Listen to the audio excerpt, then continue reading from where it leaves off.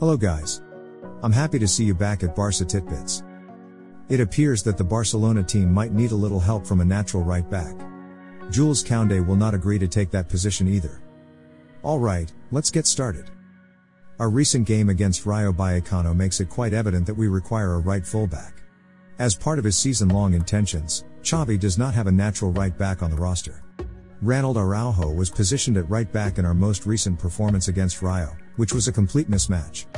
Araujo and Koundé were initially intended by Xavi to occupy that place. But Koundé had other ideas. Following his transfer from Sevilla to Barcelona, defender Jules Koundé reportedly informed Xavi that he truly does not want to play right back this year.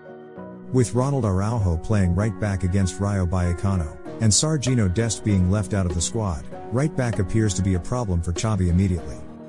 Cesar Azpilicueta and Noussair Mazraoui are just two players that Barca have already failed to sign, and it's unclear if they will sign a right back before the transfer window shuts.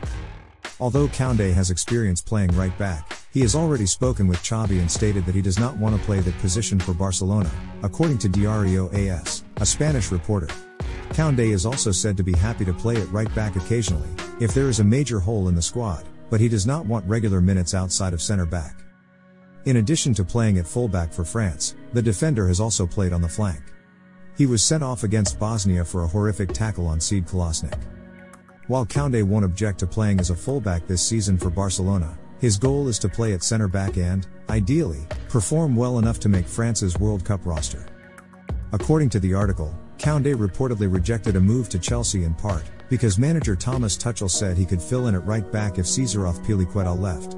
With a Barcelona side who already appear to have a surplus at center back, where Andreas Christensen, Ronald Araujo, Gerard Piqué, and Eric Garcia already vying for playing minutes, it is a difficult decision time for coach Xavi. We'll monitor how things progress. First, the upcoming game against Real Sociedad.